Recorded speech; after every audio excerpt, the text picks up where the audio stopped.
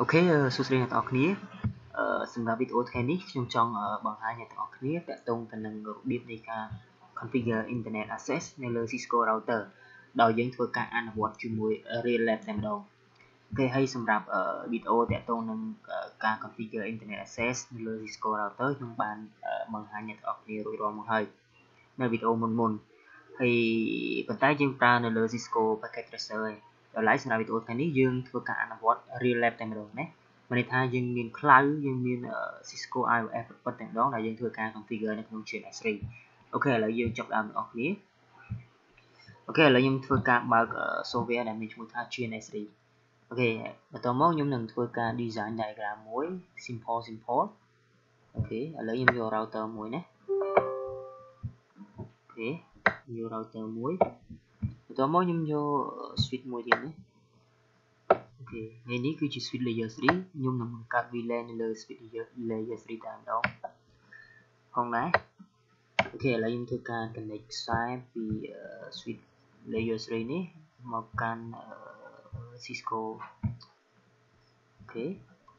អូខេតោះមកខ្ញុំយក computer ចំនួន2គ្រឿង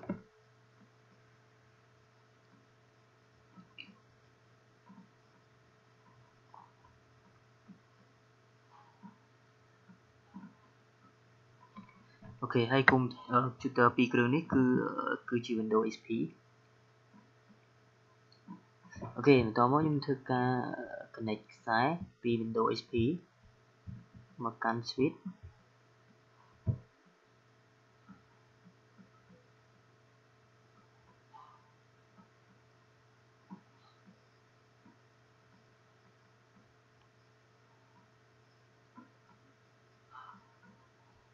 អូខេបន្តមកពី switch មកកាន់ Windows XP មួយទៀត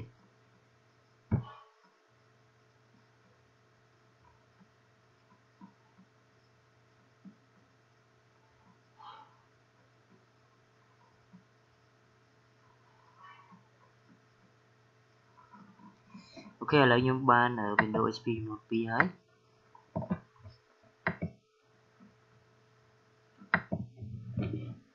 ន Windows XP ចំនួន2ហើយអូខេហើយបន្ទាប់មកខ្ញុំនឹងធ្វើការកំណត់កន្លែង Windows XP នេះទៅខ្ញុំតាំងវាគឺ VLAN 10ស្មើ IT ហើយដាក់ IP វាទៅ10 10ចឹងណាអូ finish VLAN 20ស្មើនឹង HR ចឹងទៅហើយដាក់វាតំណាងឲ្យ 20ដែរទៅណាអូខេ20ទៅហើយនេះគ្រាន់តែជាខ្ញុំដាក់តាំងវាសិននេះ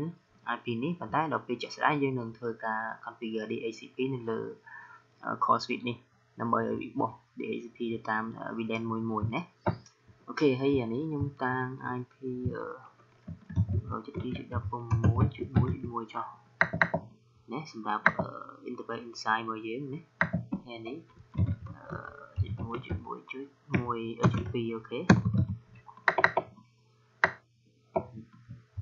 ហើយនេះខ្ញុំដាក់តិចទៅអឺ IP inside ណា OK សម្រាប់ interface នេះគឺយើងកំណត់វាជា IP inside ហើយសម្រាប់ interface ដែលទាក់ទងទៅនឹង WAN WAN យើងកំណត់វាជា IP NAT outside ណា OK ឥឡូវខ្ញុំដកនេះចេញសិនខ្ញុំតាំងអានេះថា OK ឥឡូវដាក់ office ចុះណាណាំឲ្យ office ចុះអូខេហើយតមកខ្ញុំយក switch មួយទៀត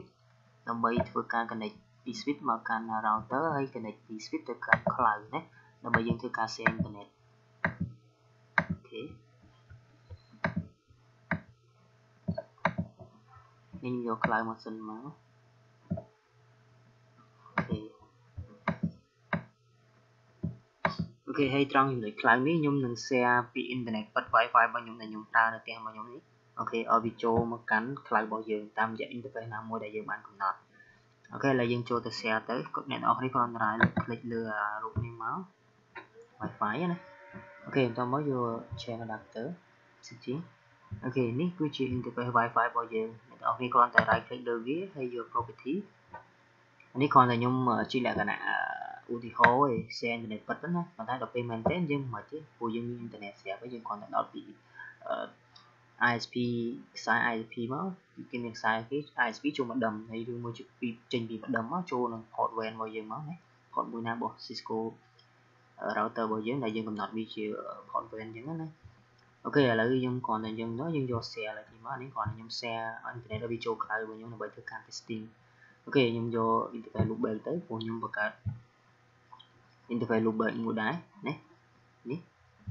interface loopback អញ្ចឹងអ្នកនរគ្នាបើសិនជាចង់ testing អ្នកនរគ្នាបង្កើត interface loopback មួយដែរមកណាដើម្បី share ពី Wi-Fi ចូល interface loopback តែពេលយើង share ទៅអ្នកនរគ្នានឹងឃើញ IP វាបោះមកឲ្យយើងមួយចាំមើល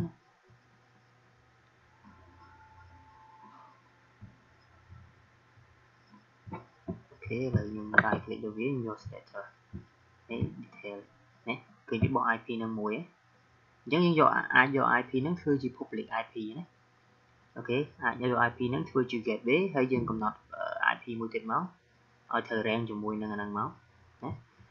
OK ឥឡូវខ្ញុំបាន share រួចហើយតមកយើងចូលមកកាន់ការងារយើងវិញណាអូខេតមកនេះអូខេ right click យកនេះយក configure OK cloud group តមក add interface loopback ដែលយើងបាន share internet នឹងមកអូខេ add ណាតមក OK OK តមកអ្នកទាំងអស់គ្នា click លើវាហើយ connect មកកាន់ switch មក OK ឥឡូវយើងបាន cloud នេះតំណាងឲ្យ internet យើងពិតប្រាកដណា OK មិញ interface វា IP វាគឺ112.168.1 OK 137.1នេះ OK អានេះយើងកំណត់ខ្លួនឯងមកយើងដាក់ range ឲ្យត្រូវមក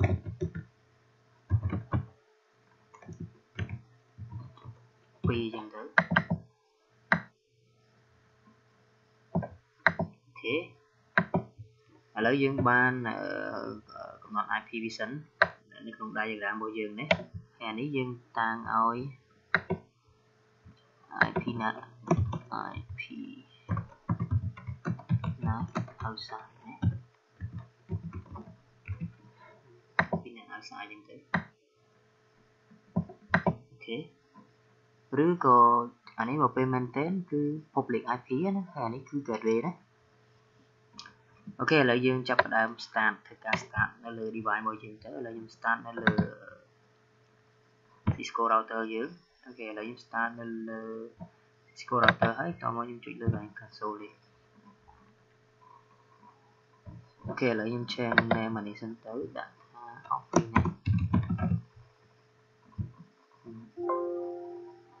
OK តមកខ្ញុំ start Cisco Switch Layer 3យើងនេះ OK ហើយ right click ចូល console OK ឥឡូវខ្ញុំតាំងអានេះថា core switch OK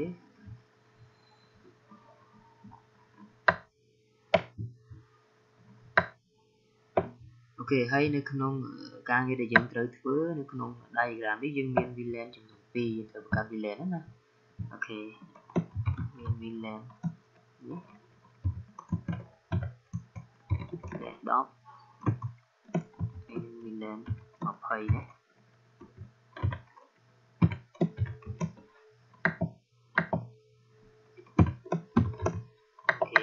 ការងារដែលយើងត្រូវធ្វើគឺយើងធ្វើនៅលើ course switch 3នេះយើងធ្វើការបង្កើត VLAN ហើយបន្តមកយើងនឹង assign port នេះទៅចូលទៅកាន់ PC មួយមួយណា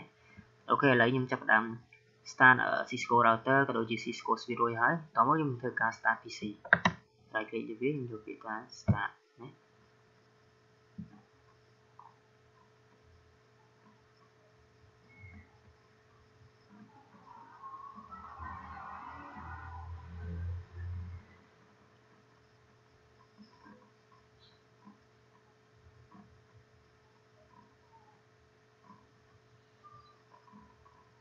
ខេឥឡូវវា start ហើយយើង skip វាចុះសិនទៅ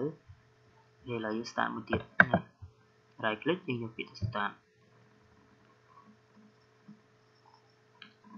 lab នេះមានថាគឺជា lab ប៉ុតតែម្ដងណាអ្នកនរគ្នាឥអានេះគ្រាន់តែជា small company មួយដែលយើងមាន device Cisco តែមួយណាប៉ុន្តែនៅក្នុង company យើងយើងមាន VLAN ច្រើនមានបែងចែកជា VLAN ច្រើនណាឧទាហរណ៍នៅក្នុងក្រុមហ៊ុនអ្នកនរគ្នាអ្នកនរគ្នាអត់ចង់ invest លុយច្រើនទេអញ្ចឹង ចង់ invest តែទិញតែ Cisco router មួយហើយ Cisco switch មួយហើយយើងបំបែកចេញជា VLAN ច្រើននៅក្នុងក្រុមហ៊ុនរបស់យើងណាឧទាហរណ៍ថាយើងមាន10 department អញ្ចឹងទៅយើងបំបែកចេញជា10 VLAN អញ្ចឹងណា VLAN IT HR accounting marketing អញ្ចឹងតាមទៅអ្នកនរគ្នាទៅណាព្រោះនៅកាលណាដែលពេលដែលយើងបំបែក VLAN កាន់តែច្រើនធ្វើឲ្យ network យើងដើរកាន់តែស្រួលណាអូខេឥឡូវខ្ញុំ start PC សិនទៅឥឡូវយើងចាប់ដើមបាន2ហើយ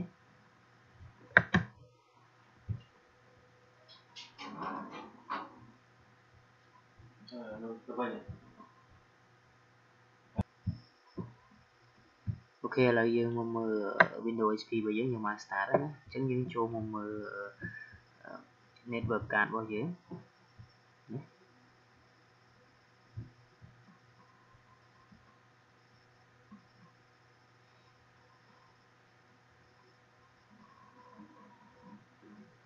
អូខេឥឡូវយើងចូលមក disable យើងចូលមក option IP ទៅព្រោះយើងនឹងធ្វើការ configure DHCP នៅលើនេះអូខេ option អស់ហើយ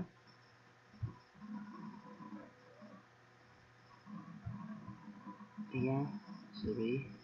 អូខេឥឡូវយើងមកមើលមួយទៀតនេះ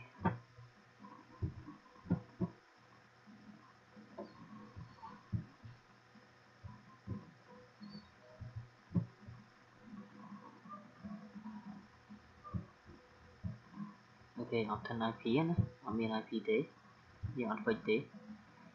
ព្រោះយើងធ្វើជាលក្ខណៈ real តែម្ដង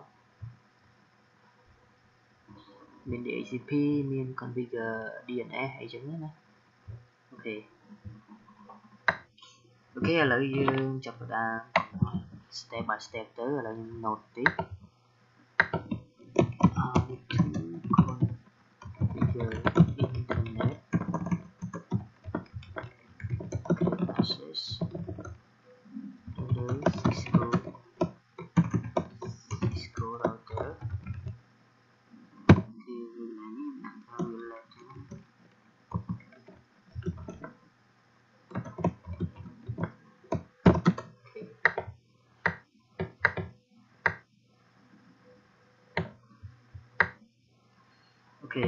step ទី1ខ្ញុំនឹងធ្វើការ create VLAN ណាខ្ញុំជួយ step by step អូខេ step ទី1អូខេយើងនឹងធ្វើកា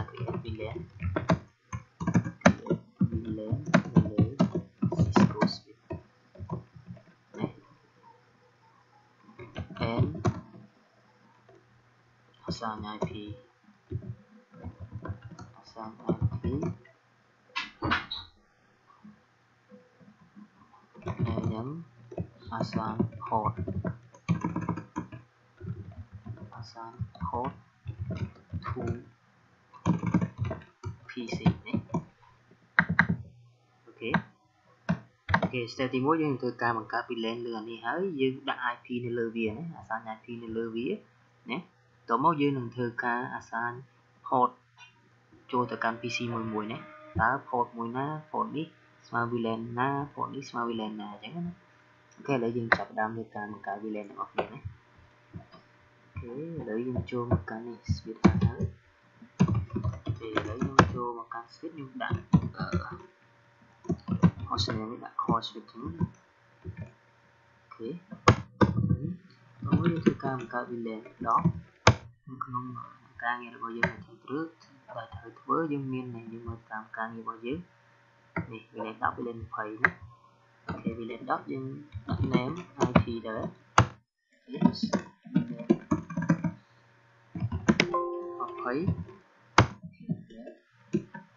ចាអូខេ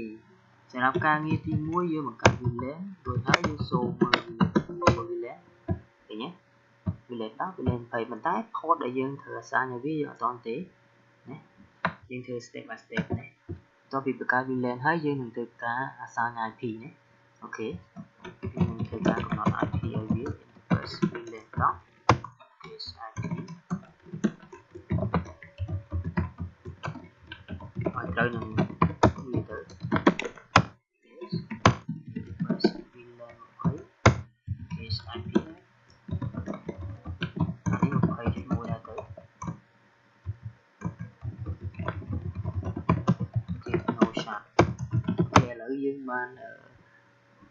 assign IP នៅលើ VLAN មួយមួយហើយតមកយើងនឹងធ្វើការ assign port ណាទៅកាន់ PC អូខេឥឡូវយើងចូលសូក VLAN មកណា VLAN ហ្នឹងវា VLAN 10 20វាអត់មកកាន់ port មួយណាទេឃើញទេអូខេឥឡូវយើងកំណត់យើងមកមើលនេះ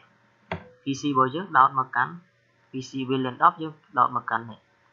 Ethernet 0/1ហើយ VLAN 20ដោតមកកាន់ E 0/2អញ្ចឹងយើងចូលមកកាន់ interface ហ្នឹងមក វាបាក់នេះ E 0/1តមក switch port mode access port access VLAN ណា VLAN 10មកពោះអានេះយើងសម្រាប់ VLAN 10ណាឃើញទេអូខេមួយទៀតយើងចូលមកកាន់ interface ហ្នឹងមួយទៀតមក export mode access port access VLAN 20ណា អូខេតមកអ្នករៀនគ្នាធ្វើការវាយ command មួយទៀត IP routing អ្នកនរគ្នានៅពេលដែលធ្វើការ configure នៅលើ switch layer 3ចាំបាច់បំផុតគឺត្រូវតែវាយ command មួយនេះគឺ IP routing IP routing គឺយើងបើកឲ្យ switch layer 3យើងអាចធ្វើការ route បានណាចេញទៅខាងក្រៅបាន OK បន្តមកយើងនឹងចូលទៅដាក់ IP interface នេះណា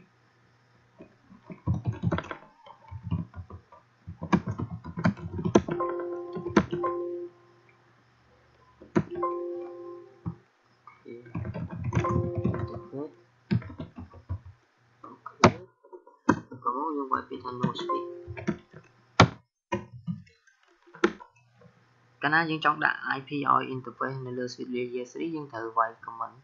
ចូលទៅកាន់ interface ហ្នឹងហើយយើងវាយថា no switch port ណាទើបយើងអាចដាក់ IP បានណា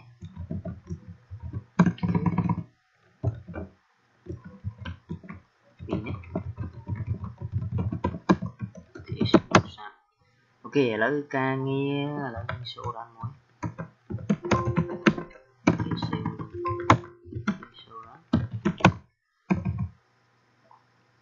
ខេការងាររបស់យើងយើងបានដាក់ IP ណា IP នេះអូខេហើយបង្កើត VLAN 10 VLAN 20ហើយ assign port វាទៅកាន់ VLAN មួយមួយ OK ហើយបន្តមកដាក់ IP នៅលើ interface VLAN មួយមួយមួយរួចរាល់ហើយ OK ហើយ step ទី2ការងាររបស់យើងយើងត្រូវតែធ្វើការ configure DHCP ណា